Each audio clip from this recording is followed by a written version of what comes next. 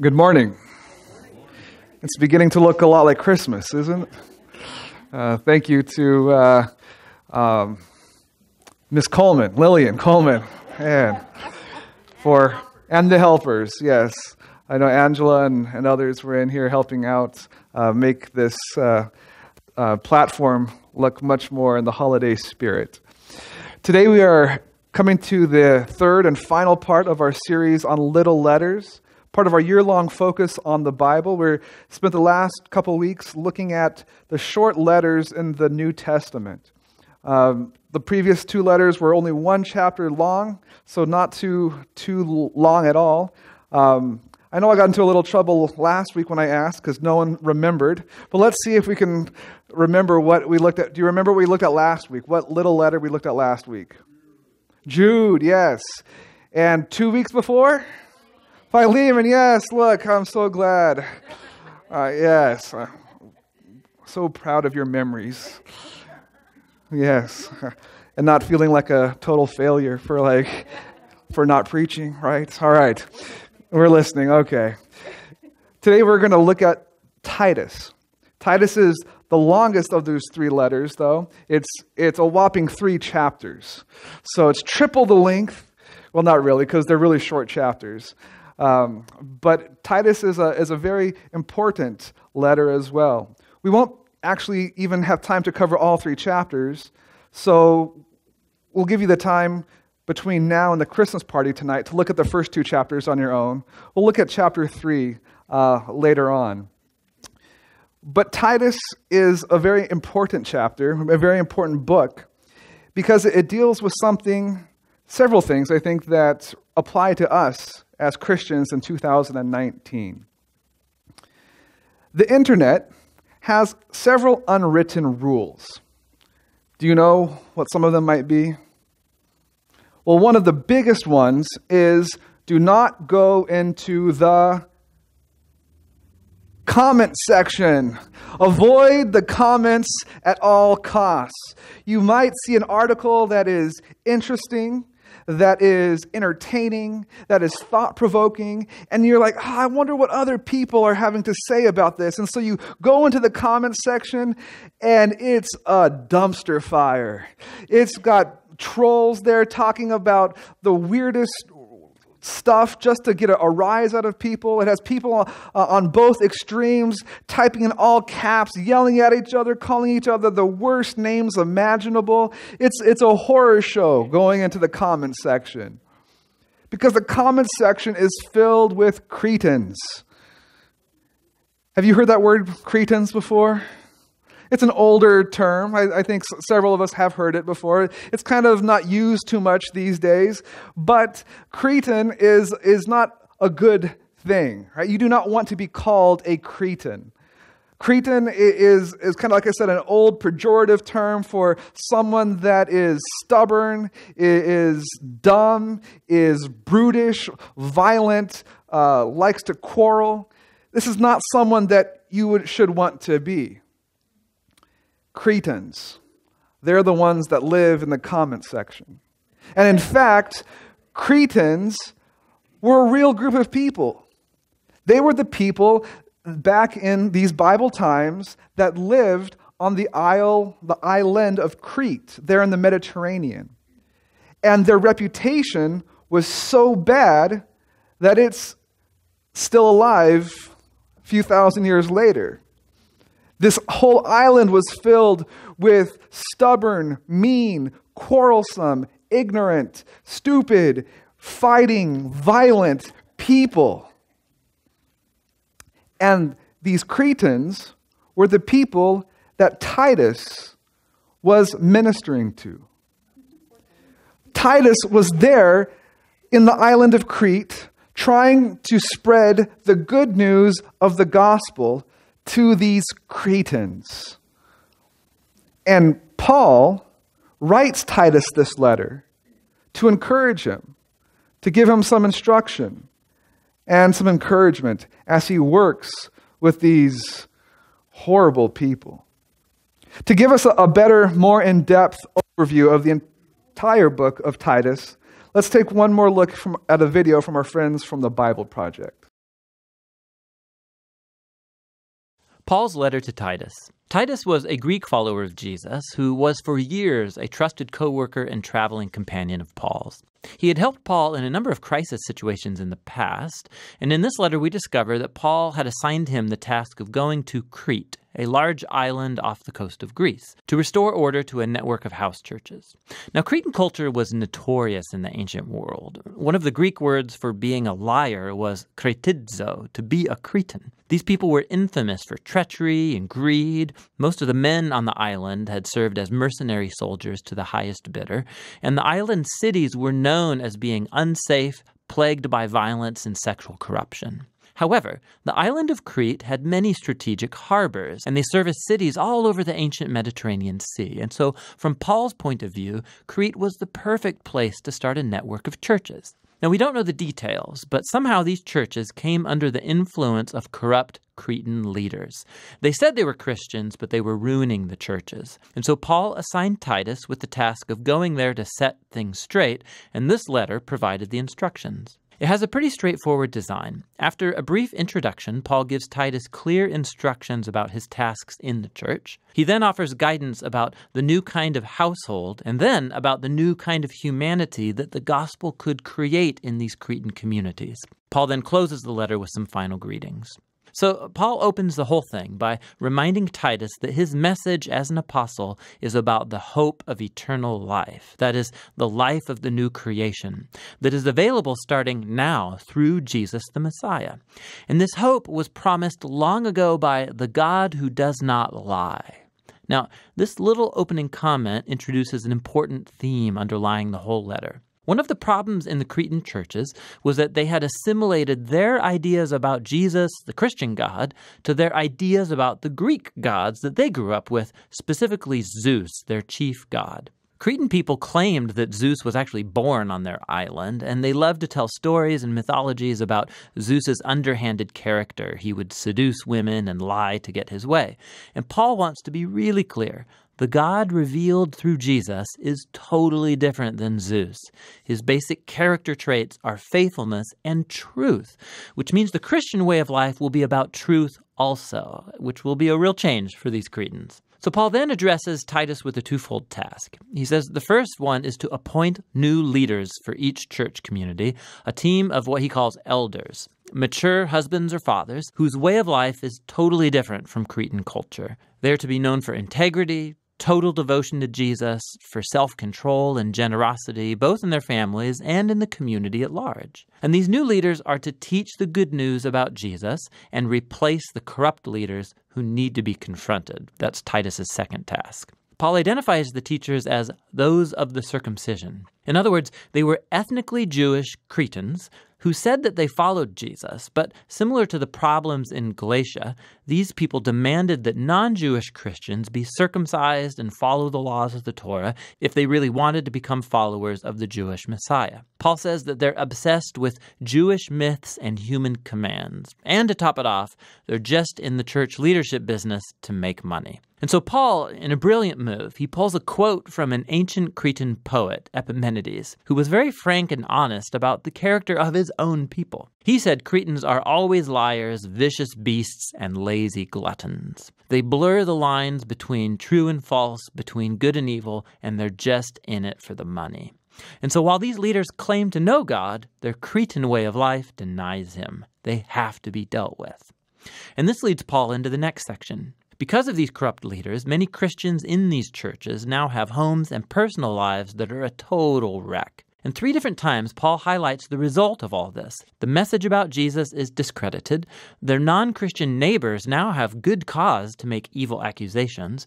And all of this makes the teaching about God, our Savior, totally unattractive and not compelling to anybody. So Paul paints a picture of the ideal Cretan household that is devoted to Jesus. It would be elderly men and women who are full of integrity and self control, so they can become models of character to the young people. And the young women shouldn't be sleeping around and avoiding marriage, as was fashionable on Crete at the time, but rather they should be looking for faithful partners so they can raise stable, healthy families.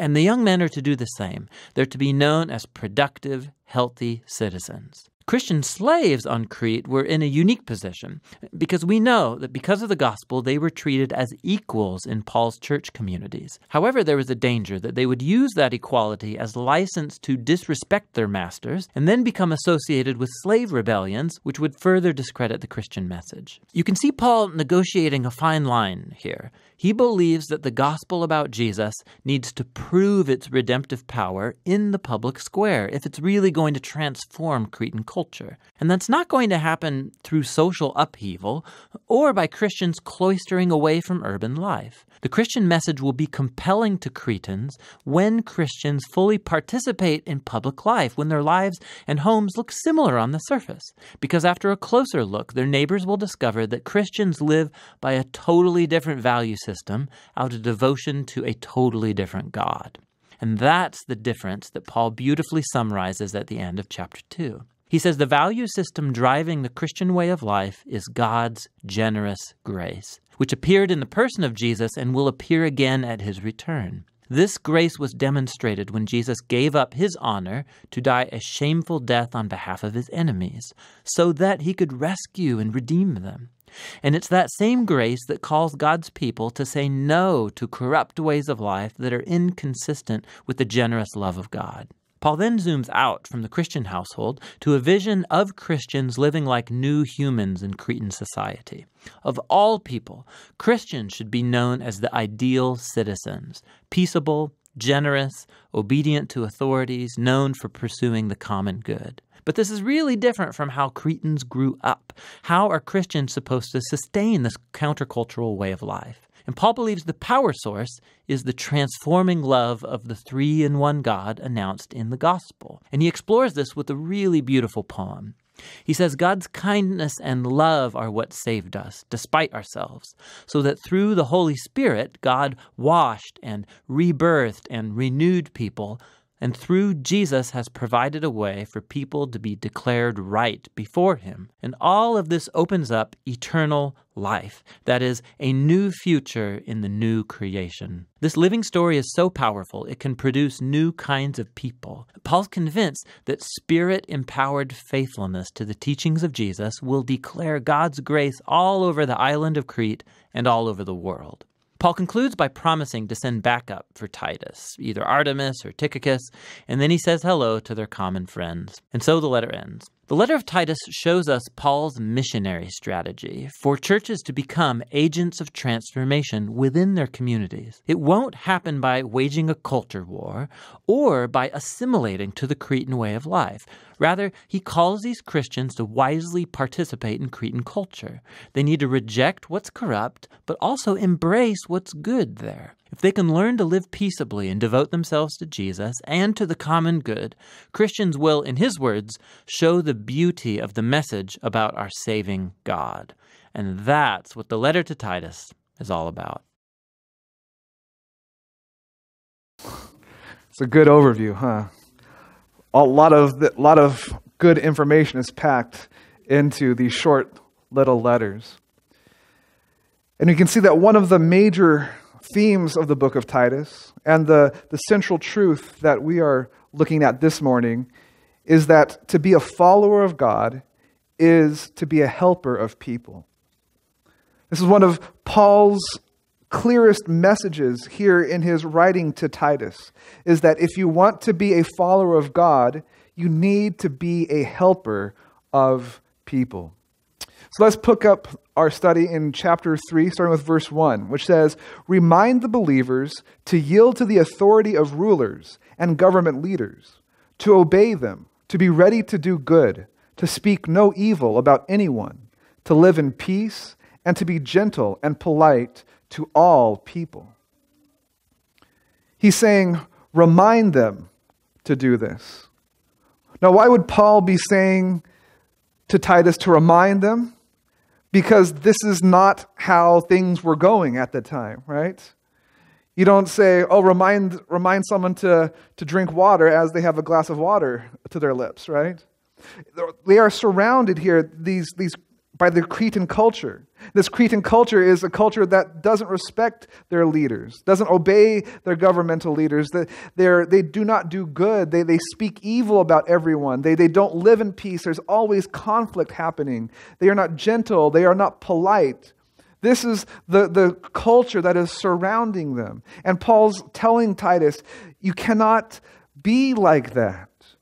Christians, the, the, the, church there, cannot live lives that have these qualities, these characteristics. You are to be different.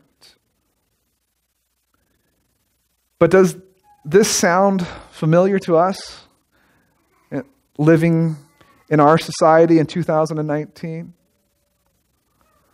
Do you look around and see that our culture is one that doesn't really respect authority much anymore? That does not really do too much good for others? That is really ready to speak evil about others, to, that, that we look, like to live in conflict, that, that we've lost our ability to, to be polite and have compassionate conversations. It seems more and more that our society is becoming like those two old cantankerous men from the Muppets. These guys that are always ready to critique and criticize and tear down. We see this in our society, do we not? We see it in the, the political arena very clearly, where truth doesn't seem to matter much anymore. What seems to matter is winning. Where the two parties have seemed to ceased caring about governing the average American citizen in a good way and have simply resigned themselves to beating the other party to staying in power. And if you think it's bad, it's been bad before, wait till this impeachment thing gets geared up and more and more. We just hear this criticisms back and forth, complaints back and forth, conflict back and forth. The Republicans accusing the Democrats of, of being crazy witch hunters. The, the Democrats, you know, accusing the Republicans of being corrupt Russian agents. Nothing but conflict and criticism. We see this played out in society with the increase of hate crimes and mass shootings. Oh, you don't look like me? Well, let me tell you something. Oh, you didn't treat me like I wanted to be treated, so I'm going to shoot you and 20 of my other classmates. Constant conflict, critiquing, tearing each other down.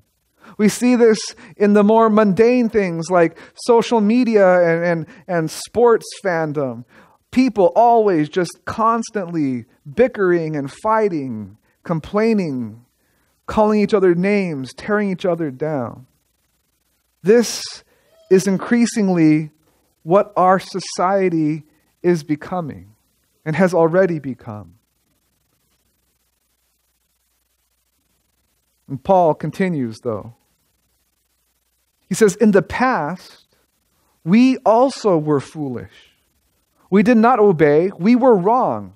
And we were slaves to many things our bodies wanted and enjoyed. We spent our lives doing evil and being jealous. People hated us, and we hated each other.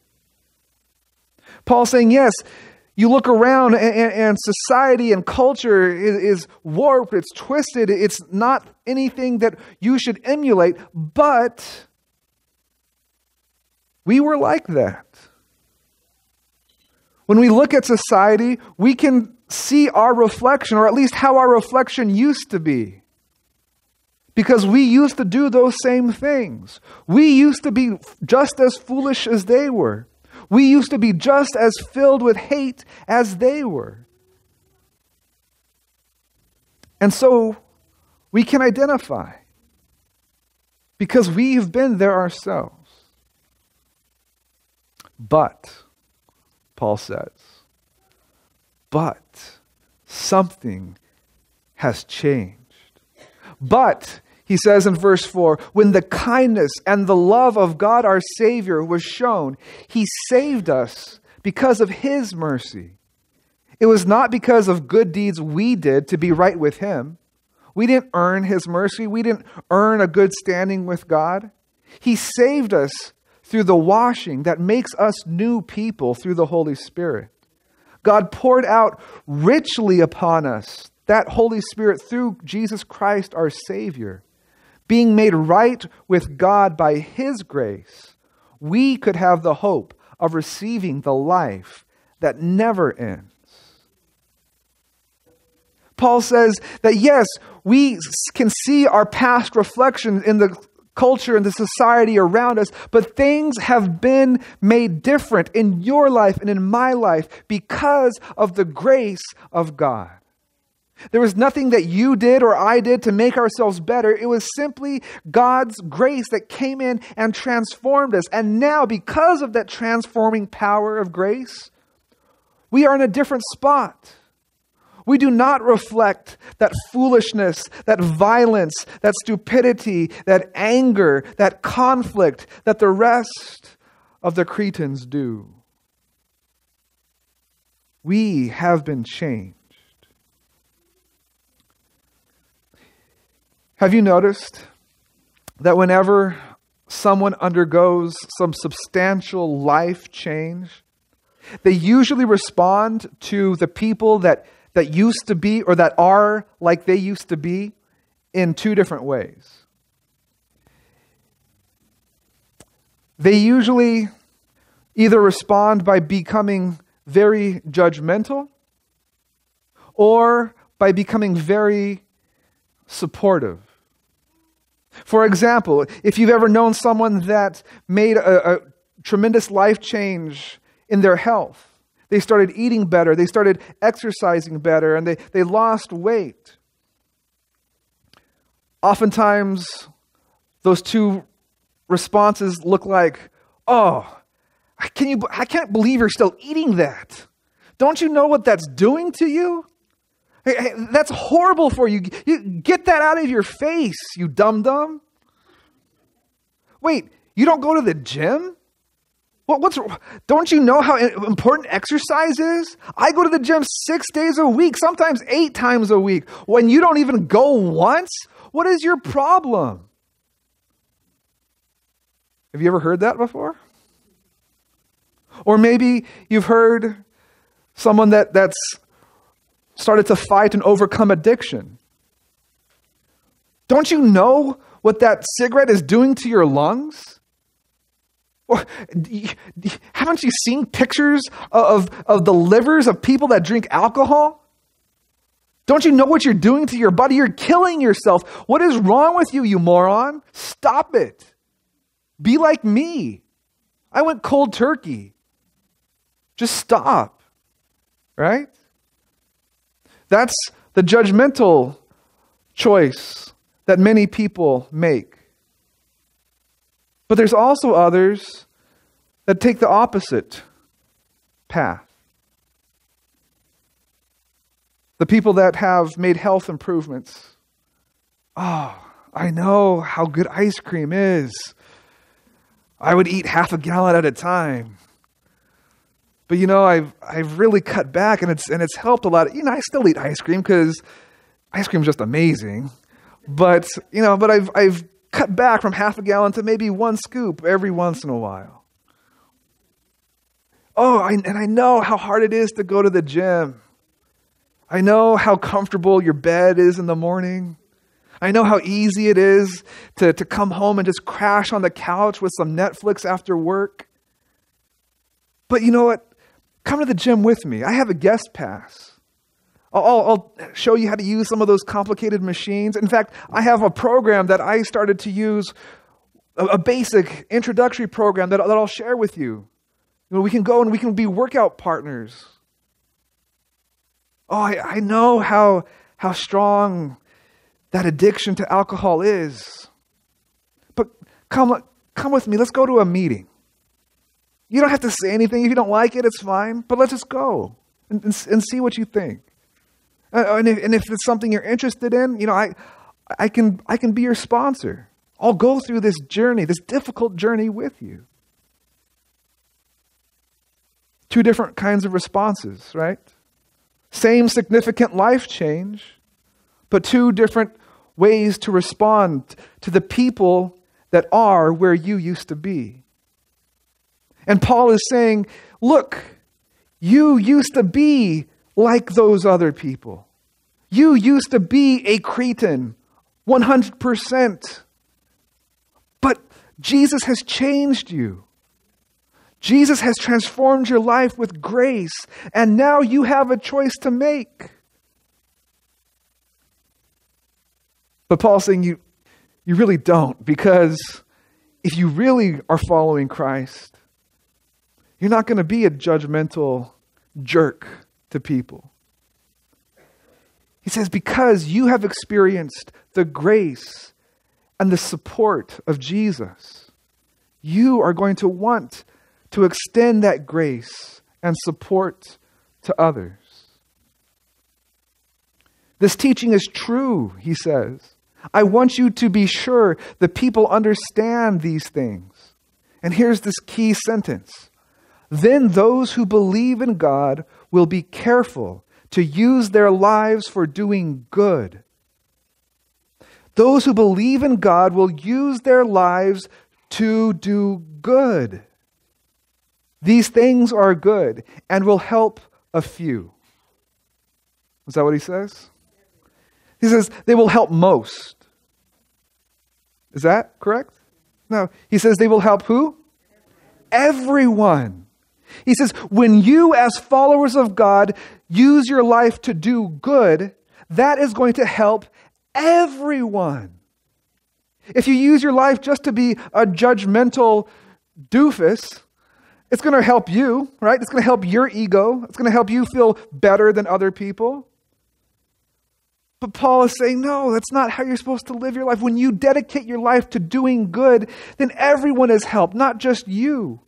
You're going to lift other people up. You're going to support other people. And in that process, it's going to be a benefit to you as well. Everyone is going to be helped. This is a win, win, win, win, win situation. What would it be like if the very first thought, the very first gut reaction that non Christians had about Christians was that that's the group that is helpful? What would that be like? If the very first thing that went through a non Christian's mind when they heard that term Christian was, yeah, those are the people that, that go out of their way to be helpful.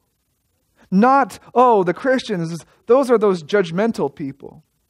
Oh, the Christians, those are those exclusive people. Oh, those Christians, those are those bossy people. What if they thought immediately about Christians or, oh, you know, there's never been a time in my life where I've been in trouble and a Christian hasn't come along and helped me. In a, in a substantial way, not just a, oh, my thoughts and prayers kind of way. What if they thought every time I face an obstacle in my life, whether it was with a relationship or with finances or with health, what if there was a Christian in my life, whether it was my, my neighbor or my coworker or my brother or cousin or niece, what if every time I faced trouble in life, there was a Christian there offering his or her hand to me? Because this is what Paul is saying that we're to do. As followers of God, we are to help people. This is the message. This is our mission to follow God and help others. To be a follower of God is to be a helper of people. Not just sometimes, not just the people that you like. To be a follower of God means to do good for everyone. He continues in verse 9 and says, But stay away from those who have foolish arguments and talk about useless family histories and argue and quarrel about the law. Those things are worth nothing and will not help anyone. He says, Stop it. Stop arguing about this little detail or that little detail. It doesn't matter if you're right. Good for you if you're right, but you're not going to do you're not making a difference by arguing. You can pull out these fact after fact, statistic after statistic to, to show why you need to vote this way or that way. But by arguing, you're not really going to convince a Democrat to become a Republican or a Republican to become a Democrat. You could pull out all the proof texts in the world and, and, you could have the Bible memorized and, and argue theology till you're blue in the face and, and, and proof text after, use proof text after proof text. But you're not really going to convert someone through an argument